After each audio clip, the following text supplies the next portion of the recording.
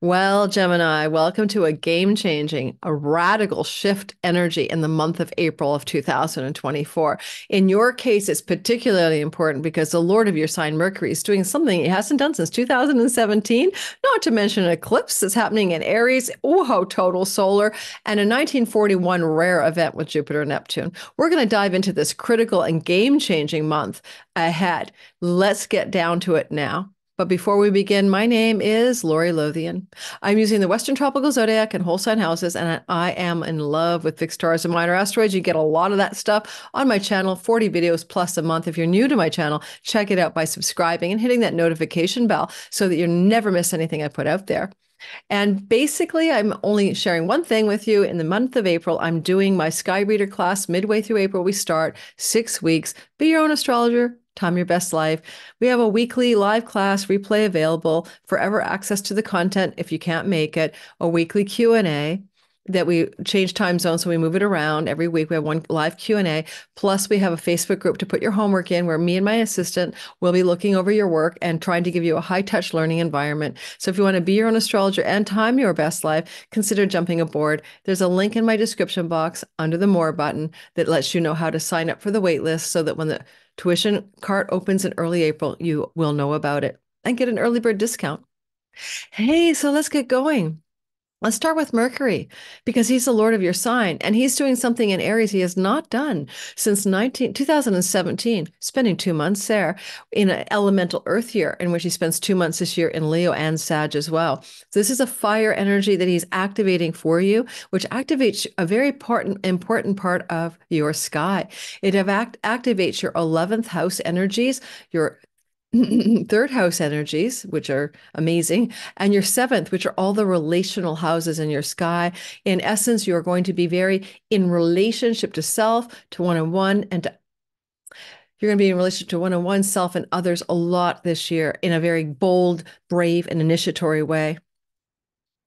During the month of April, Mercury will retrograde, but he has been in the sign of Aries, which is your house of good spirit, to do with career gains, to do with things to do with groups of belonging and friends and your long range plans and goals and your karmic rewards. He has been in that part of your sky already, Gemini, since back on March the 10th, and he doesn't leave there until May the 15th. The big news story for April is his retrogradation. He's going to backpedal like the moonwalk backwards in your sky. And the date of the backpedaling in your Aries house that I just described to you is the 1st of April, April Fools, to the 25th. I'm doing a webinar on that. You might want to get in on that link below. You'll learn more about that if you keep listening when I get to the Cazimi story. Now, this retrogradation is between 27 and 16 degrees of the sign of Aries. And so for you, with this being the Lord of your sky, anybody born between 13 and 29 degrees, um, anyone with a sun or moon or rising between 13 and 29 degrees of Aries will really feel this retrograde. Now, remember, your rising sign is going to always be most accurate, but you can listen for your sun as an indicator of career and purpose, and the moon as home, body, and safety needs, for example. So, I want you to consider that the April 1st to the 30th, you're likely to hear from a lot of friends you haven't heard from for frigging ever. Out of the woodwork come these people uh, emails, phone calls, text messages from old friends, groups of belonging, and allies.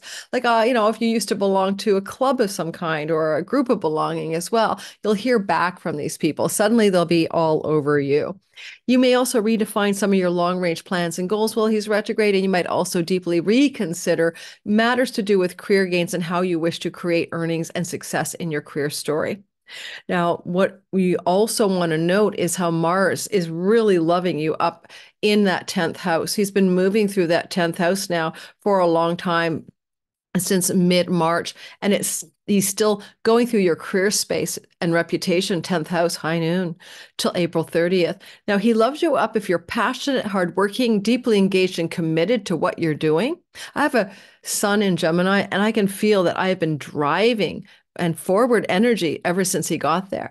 But if you are somebody who's tired of the work you're doing, you don't like that career path, the job isn't right for you, Mars can help you leave it. This is a very pare away, quit, and end energy. You might get rid of stuff you don't want. And there's some exciting things that Mars will be doing this month that are in alignment with should I stay or should I go, or what do I want to keep in my work? So like, let's get to that shortly.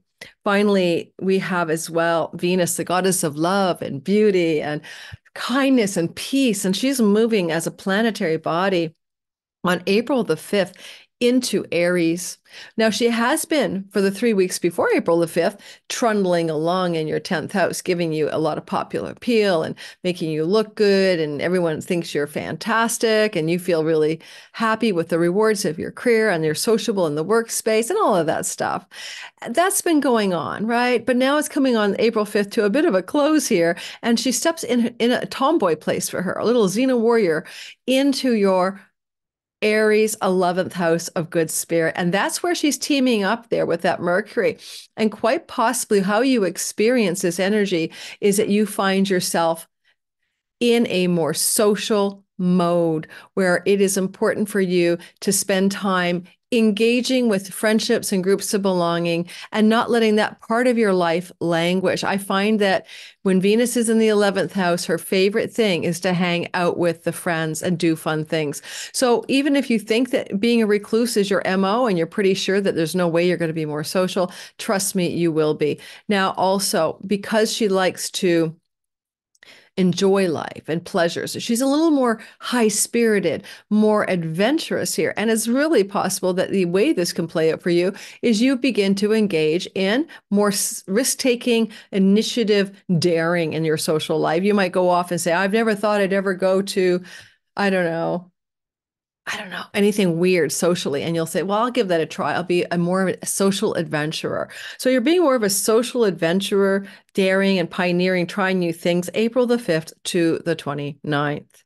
Now let's break down the sky in the chronological order. That's going to be extremely important. We've got so much going on. Please get a pen and paper. I mean, for me to hire a video editor to put the, the dates up beside me, it's going to be a lot of hassle and money. So why don't you just take a pen and paper and write these times down or listen to this video again. How's that? That's just a thought. I had some suggestions lately. And I'm like, guys, you know, it's not that hard to write the dates down. So April the 3rd, Venus comes together with Neptune in a dreamy love up. And that is while she's still exalting you in your Pisces 10th house of career. This can be a dream come true in your career, a special, precious goal realized in a magical way. But it also can be you being seen by the world as somebody providing spiritual, um, creative, and beautiful something into the workplace or into the world. It's very soulmatey, just so you know. So maybe some of you could fall in love with a person in the workspace and it's very soulmate love at first sight, possibly. Again, April the 3rd. On April the 6th and 7th, Venus will sextile Pluto. Pluto is about power and he's in your ninth house, and your ninth house is about your deepest dharmic path, your wishes and goals that are aligned with God's divine will. It's a house of called the house of God sometimes it's where you go am i on my true north? Anyone who's got a gemini sun moon or rising is probably asking that question. Don't forget sun is purpose and career. Moon home and mother and body and you know sun can be father father figures but the rising sign is everything about you. Now with venus in now in aries sextiling pluto this is something to do with a powerful changing or positive shift regarding a friendship or group belonging connected to the words academics, book publishing, like be great for a book publishing contract, uh, foreign shores, foreigners, and foreign lands. Keep your eye on the ball for something sweet happening here that's very powerful, but very positive. April the 6th to the 7th. On April the 9th and the 10th, 8th, 9th, and 10th, this is one of those really hot spots for everybody. On the 8th, the eclipse is happening in, in the sign of Aries. It is a total solar eclipse, very powerful. It'll unfold over a year. It's one of three eclipses in Aries, one last April, one next March. This one is happening at 19 degrees of Aries. If you're a Gemini sun, moon, and rising between Oh, I would say uh, 15 to 24 degrees of Gemini. It's very, very intense for you. You really feel it, but in a positive way. This North Node eclipse in Aries on the 8th at 19 degrees flows to you. It opens up a portal of new beginnings and new directions in the area of your larger groups of belonging and your great gains from your career. You will see that unfold over the course of the next year. Also, you may dramatically shift, change your energy and choices around what you want to accomplish in your career and reputations stuff. This is where you kind of have the wishes and dreams for you in life. And these are expanding North Node and changing eclipses. After that, on the 9th and 10th, but really mesh within it, is Mars hitting the wall of Saturn, hard stop or you know frustration. And now Mars is moving at this time on the 9th and 10th in that 10th house. That's a house of your reputation and career. And Saturn is like literally a brick wall. So if you've been driving and really pushing, then around this time, the eclipse, you might come to a really either a lot of frustration in that career space. You might want to quit a job, put your hands up, push against a wall, scream into a box, or quit. Who knows? But it's a very frustration, intense gas pedal, brake, the two don't match energy for you. And that's coming in with great intensity into that part of your sky that represents that career and reputation. So take a few deep breaths on the 9th and 10th, give or take a few days on either side. It may feel like pure and sheer frustration. This too shall pass. As we move into the month, we get to April 11th and 12th, and Mercury enters into the heart of the sun in a cazimi. Because Mercury is the Lord of your sign, this is incredibly important for you because this is where you are going to experience a deep divine download and reset around your gains, long range plans for your, your, your life, things to do with, you know, friendships and groups of belonging and elder sibling, all meanings of your 11th. I'm doing a Mercury webinar, a retrograde webinar for free. You might want to sign up for it. It's in the description box below. I'll be talking about the stars and the fixed uh, minor stars fixed stars and minor asteroids involved in this. We do a guided meditation as well as a little mini lecture slideshow that help you understand what's happening in the sky. All right, so check that out below. But it's hard to say what it'll be for you because it's happening in the house of other people. But it can be a deep magical window for uh, an insight or download about a longer range goal or plan. But if it's not a personal thing, then it can be something to do that's quite magical by hearing from He's retrograde, right? He's magical. News from a friend or group of belonging that you used to be a part of, and an invitation from that friend or group coming through around that cazimi. Again, the date was the 11th and 12th, depending on your time zone and where you live in the world. Now we come into a pocket of sky that I can only describe as a vortex, and that's April the 18th to the 21st. There is so much going on so much going on. It's insane. Okay, I'm going to just say it's, it's crazy. Makes me crazy to think about it. So the first thing I want you to know is that the big story is April the 21st. We'll have Jupiter Uranus in conjunction in Taurus. We haven't seen that since way back in 1941 in Taurus, and it's back again. This energy of this conjunction is felt as early as April 15th, building up and waning by the 26th. So you're feeling it in that window of time. Innovation, excitement, sudden changes, unexpected things, Jupiter, bounty, prosperity, electric shock current in your 12th house of foreign countries, foreigners, foreign lands, and revenue generated from those places, as well as addictions and self undoing. Some big shifts here, and these will fold out over 14 years, not just the day of the or the month of this event. This is a new synodic cycle between Jupiter and Uranus. I'll be doing a separate video on this, but I've already done this and it's in my 2024 big transits playlist. Please watch that video for the deeper dive. But what's going on before and around that is also intense. Technically speaking, Mars is supporting Jupiter, cheering him on. Go, go, Jupiter, because Mars is saying, okay, Jupiter, from the Pisces waters of the career space, I'm I'm giving you all of my love and support to change 12th house matters in a flowing way. Well, Mars is change. Mars is decisions and actions. And what decisions, changes, and actions you're making in your career vis-a-vis Mars supports the Jupiter Uranus electric energy in this 12th house. If you make money from foreign shores and foreign lands, international borderless income, it's definitely about that. This is like a boom energy here where you're going to find some major financial shifts coming through your sky in the 14 years that follow. If it's about an addiction, same deal. You may find that you are going to kick that addiction to the curb so that you can be more focused on your career. And finally, some of you may Mars move, change your career in relationship to country and where you live as a result of this over the 14 years that follow. But nonetheless, in the acute window, this Mars sextile Jupiter is happening most most uh, evidently. You'll feel it like the 17th and 18th of the month of April, and it moves toward, flows toward that Jupiter, uh, and gets more exact as we move to the 21st. Don't forget don't forget that Mars hit a hard wall way back when. Like, don't expect this to be an easy career month. He went slamming into a wall on the 9th and 10th, but now he's giving a cheer to Lord Jupiter and Uranus from Pisces, which is Jupiter's house.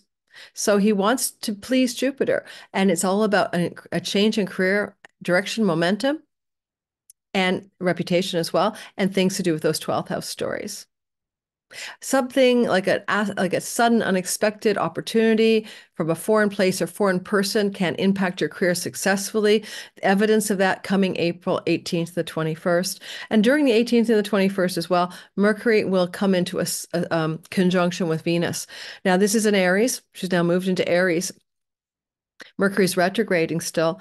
Uh, women from the past coming through uh, women from the past uh, acting as benefactors and allies, ideas from the past that are very profitable, reoccurring to you as something you wish to to continue doing to support greater career gains, are possibilities for that conjunction. Again, April 18th to the 21st. If it doesn't get busy enough, still April 2021st or so, the sun is squaring Pluto. Ay, ay, ay. Pluto is up in your ninth house of God, where you're looking for deep, profound meaning and true north in your life. And you really, if you're in the academic world, book publishing world, third marriage world, this is where Pluto's sitting, courts and legal matters. And Pluto gets a, a, a difficult stink eye from the sun. Now, the sun will be moving through Taurus, your long distance foreign land revenue and travels, as well as yourself undoing and addictions because Pluto's in a house of foreign travels and the sun is squaring Pluto. Look for some intensity around the things that may have to do with foreign land journeys and travel really being in your face April 18th to the 21st, basically. Jupiter is with the sun and he brings kind of a bonification and a bounty and a goodness to whatever this is. But like, just know that there may be a critical turning point here. And you'll see that energy that I'm talking about, you know, April 2021, picking up later. Mean, I'll jump ahead, picking up later to April 28th to 30th, when Venus then squares Pluto and follows through on what was happening. Venus will have moved into her home sign of Taurus. Remember, she's only in Aries till the 29th. So now Venus in your 12th house, Jupiter in your 12th house, Uranus in your 12th house, right? Sun in your 12th house. Pisces and Venus goes in and she follows up on what the sun started. I would expect you to connect a dot here very simply and very easily about maybe a, a foreign travel opportunity and some tension here or some major decisions being made. And again, the dates of the first tension is April 2021 with Venus mopping it up and finding a solution perhaps April 28th to the 30th.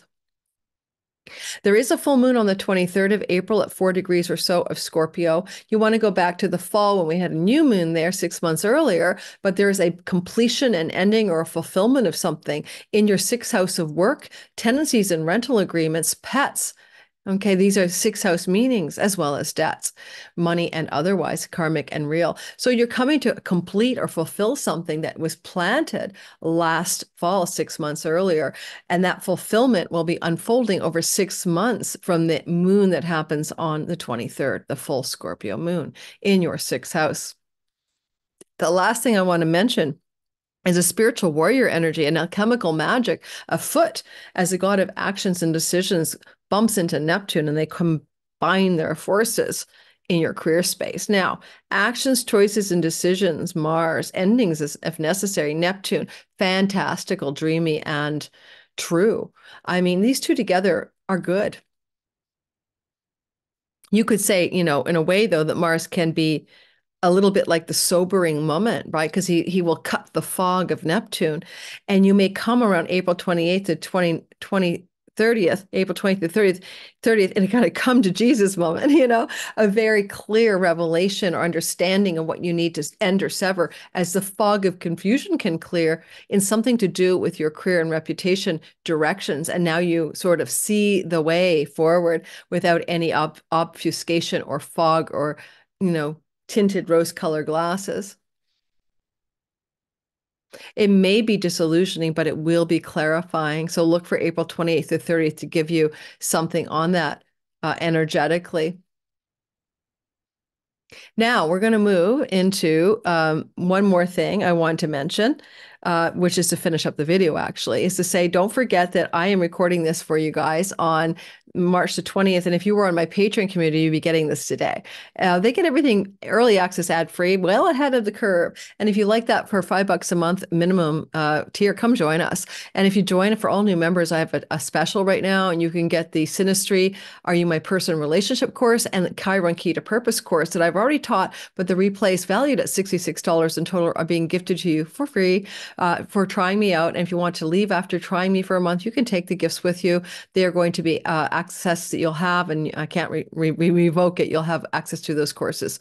Um, so anyway, thanks for listening, and I'm hoping all you Geminis, have a progressed Gemini sun, have an amazing experience in the month of April. Holy moly, I could say April is one of the months that we'll never forget individually and collectively. Thanks, guys.